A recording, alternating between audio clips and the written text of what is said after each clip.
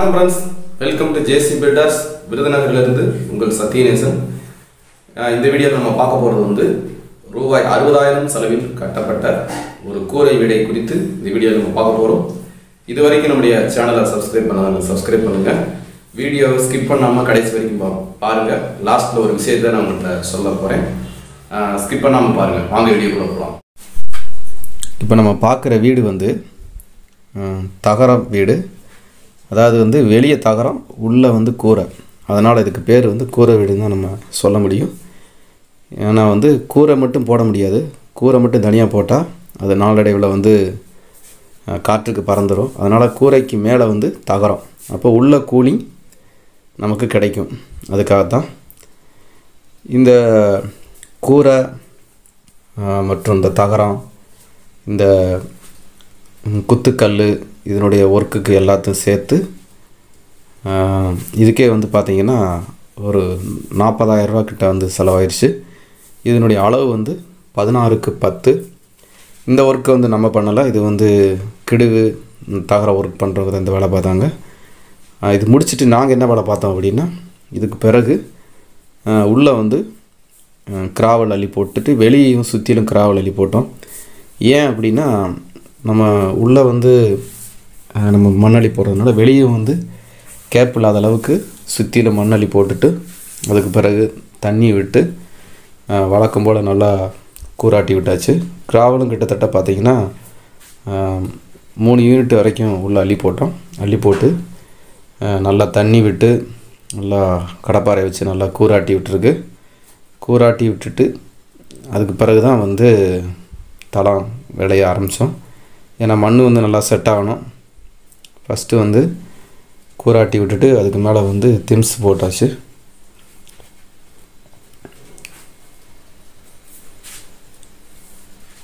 திம்ஸ் போட்டு விட்டுக்கிட்டு இருக்கோம்.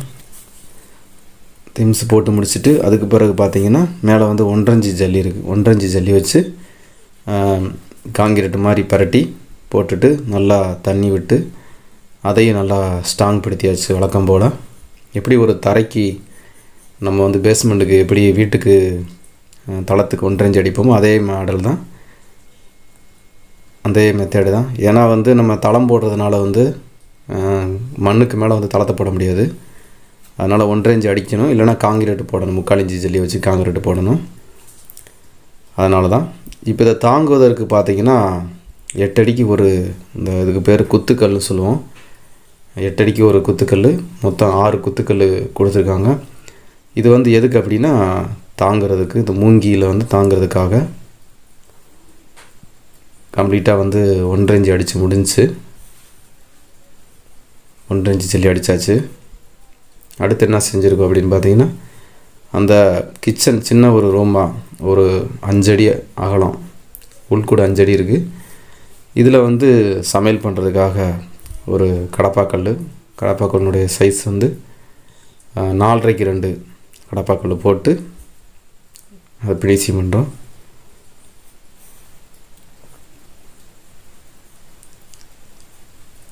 கண்டிப்பாக சமையல் பண்ணுறதுக்கு தேவைப்படும். அடுத்து வந்து பிளாஸ்டிக் ஒர்க் ஆரம்பிச்சாச்சு.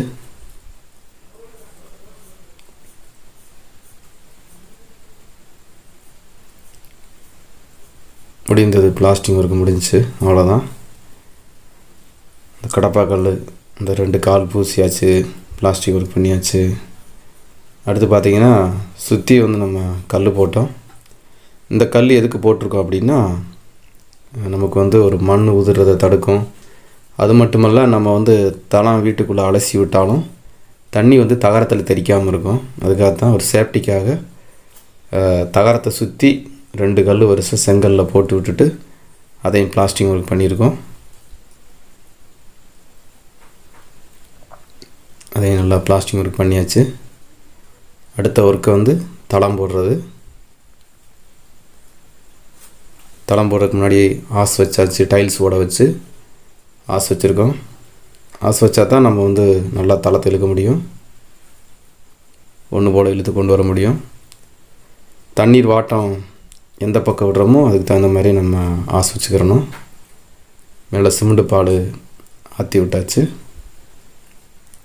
சிமெண்ட் பால் ஆற்றி இந்த இடத்த பினிஷிங் பண்ணிட்டோம் இந்த கிச்சன் ஏரியாவை நல்லா கோடு போட்டு கோடு அடித்து விட்டு இதை பினிஷிங் பண்ணியாச்சு நீ அடுத்து அந்த பக்கம் இருக்கிற அந்த ரூமை வந்து அதை தலை இழுத்துக்கிட்டு இருக்கோம். தலை இழுக்கும்போது நான் வழக்கமாக சொல்கிற மாதிரி ஈரக்கலவையை ஈரக்கலவை வச்சே வந்து தலை இழுக்கணும். புட்டுக்கலவை வச்சு இழுத்தோம்னா சீக்கிரமாக அது வந்து டேமேஜ் ஆகிடும் ஈரக்கலவை வச்சோம்னா கொஞ்சம் காயறதுக்கு லேட் ஆகும். பரவாயில்ல. ஆனால் தலை உறுதியாக ஸ்ட்ராங்காக இருக்கும்.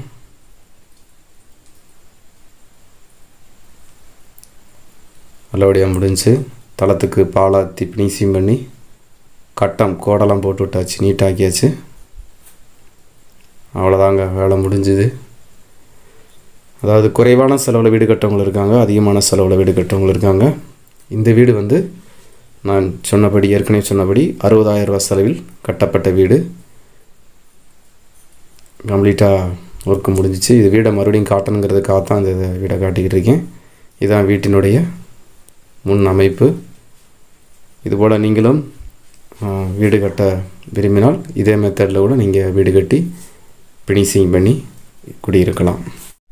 இப்போ நம்ம பார்த்த இந்த வீடு வந்து அறுபதாயிரம் ரூபா செலவு இந்த வீட்டுக்கு.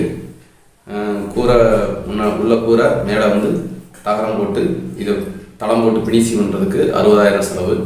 நம்ம ஏற்கனவே வந்து எழுபதாயிரம் செலவில் ஒரு வீடு போட்டிருக்கோம். அந்த வீடை பற்றி நிறையா பேர் கேட்குறாங்க எழுபதாயிரத்தில் கட்டி தர முடியுமா முடியுமான்னு. அது வந்து பழைய வீடோட அட்டாச் பண்ணதுனால வந்து மூணு பக்கம் மட்டும் சுவர் கட்டி முன்னாடி மட்டும் பிளாஸ்டிங் ஒரு பூச்சியோட பார்த்துருப்போம். அதனால தான் அந்த வீட்டுக்கு அவ்வளோ செலவு.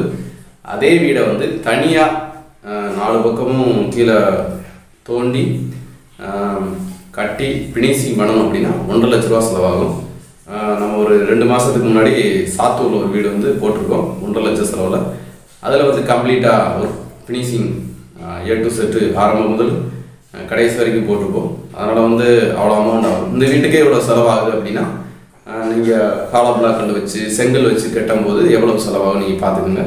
இந்த வீடியோவை குறித்து உங்களுடைய கருத்துக்களை மறக்காமல் தெரிவிங்க. மீண்டும் அடுத்த வீடியோவில் சந்திப்போம் தேங்க்யூ